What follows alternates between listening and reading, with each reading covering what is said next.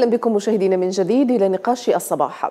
التمسك بنظام غذائي في فصل الصيف ليس بالأمر السهل خاصة وأن معظم العائلات تتوجه إلى قضاء عطلتها الصيفية في الإجازات ما يجعلها عرضة لاتباع سلوكيات غذائية خاطئة تضر بصحتهم.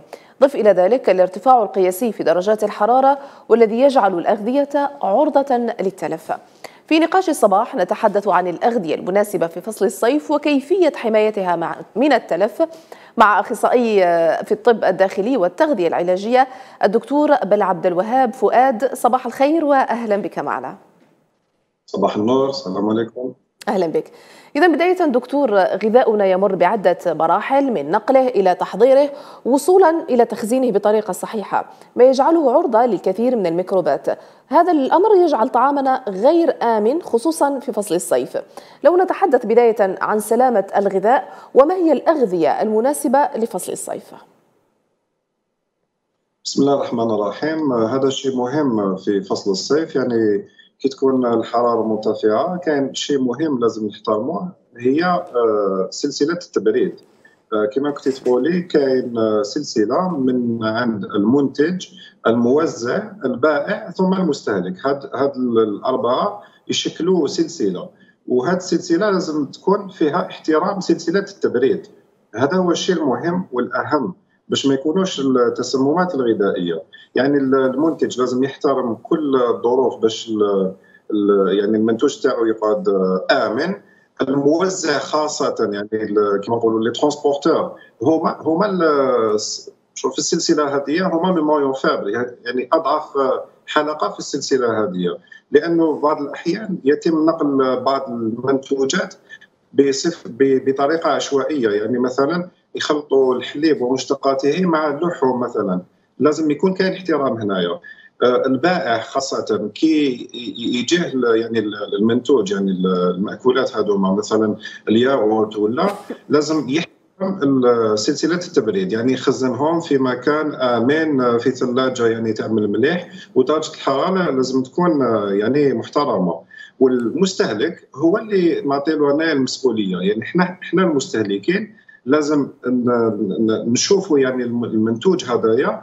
أسكو صارت فيه يعني خلل في هذه السلسلة. يعني مثلا إذا نشوف انايا العلبه تاع الياغورت نعطي هذا المثال لأنه بسيط. إذا شفتها منفخه ولا حتى وإذا الصلاحيه ما زالت نخاف منها نوعا ما. إذا شفت الثلاجه تاع البائع يعني ما تبردش مليح ولا لازم نتفاداها ثاني يعني هذه السلسلة نعم. تاع التبريد أهم. طيب في ظل الارتفاع القياسي لدرجات الحرارة التي شهدناها وما زال وما, وما نزال نشهدها كيف يمكن الحفاظ على جودة الغذاء وما هي طرق حفظ الطعام دكتور؟ هي إحنا كمستهلكين لازم نتعلموا بعض بعض السلوكيات في في حفظ الغذاء نبدأ مثلا بالثلاجة الثلاجة لازم تكون نقيه يعني تكون ممسوحة مليح. وتانيك لازم نكون على بالي باللي كاين يعني الدرج اللي مخصص للحليب ومشتقاته يعني الدرج الأول مثلا. نقدر نحط فيه الأجبان والياغورت.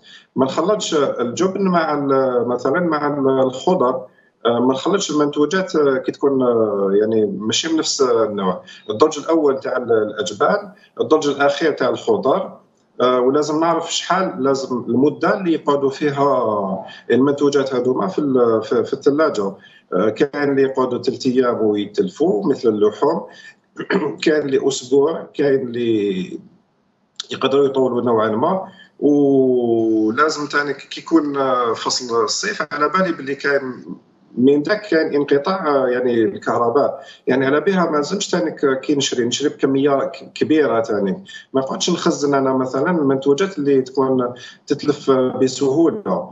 كاين أمر واحد آخر كاين مثلا الخضر والفواكه اللي هي على بالنا باللي ناكلوها بزاف في فصل الصيف.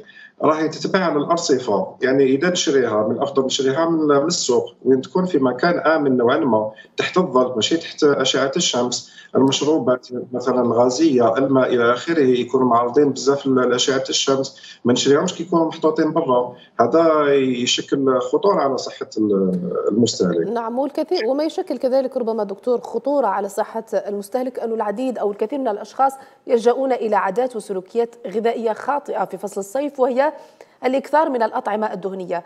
لو نتحدث عن خطورة الأطعمة الدهنية على الجسم.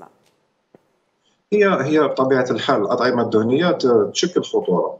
لأنه على بالي باللي صحة الإنسان مرتبطة بعض الأمور الايضيه مثل الكوليسترول آه، السكريات الثلاثية مرض السكر السمنة. هادو ما على بالي باللي يشكلوا لي خطورة في في هذا يعني المجال يعني صحة الإنسان.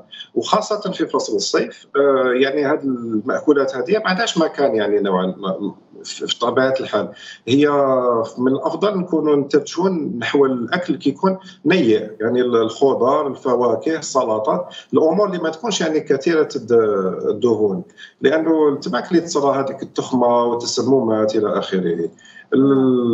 الدهنيات لازم نتفاداهم. وإذا كليتهم ما ناكلهمش بزاف. نعم.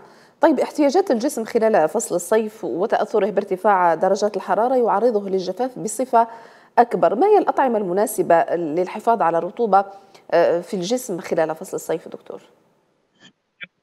هي كي نشوف انايا تداول الفصول وكي يتغيروا يعني الخضر والفواكه على حسب المواسم نعرف باللي كاين حكمة في, في, في الأمور هذه يعني قدرة إلهية. يعني نعطي على سبيل المثال بعض الفواكه مثل الدلاع ولا ولا البطيخ ولا كي يكون وقتهم في فصل الصيف يعني فيهم نسبة الرطوبة يعني تفوت 90% لأن لذا شغل إحنا نستهلكوهم بكثرة في هذا الفصل. يعني حتى الخضر مثلا إحنا نأكلوا بزاف سلطات إلى آخره. الطماطم غنية بالماء. سلطه الخس الخيار مثلا هذو ما قاعد تكون غنية بالماء. وتلبي الحاجيات من حيث الماء بثلث يعني ثلث الحاجيات تاعنا تغطيها المأكولات هذه. الثلثين الآخرين لازم نشرب الماء آه، بكثرة.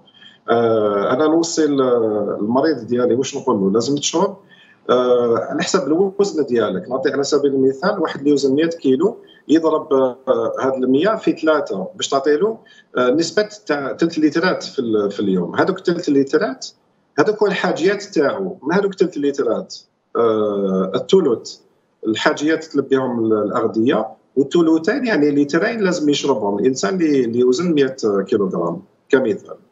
نعم. طيب من العادات الغذائية كذلك التي عفوا تتغير في فصل الصيف وتأخير الوجبات أو تقديمها.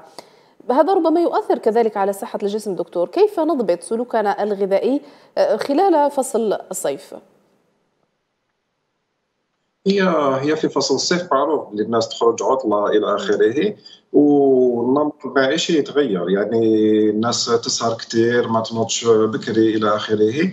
لذا راه يتأخر مثلا فطور الصباح. كان حتى اللي يلحق على الوجبات تاع الغذاء هي من الأحسن ما نغيرش بزاف النمط المعيشي ديالي. يعني لازم النوم نحترموه. كاين شيء مهم وهو النوم. لازم سبع ساعات تاع النوم ديالي نحترمها.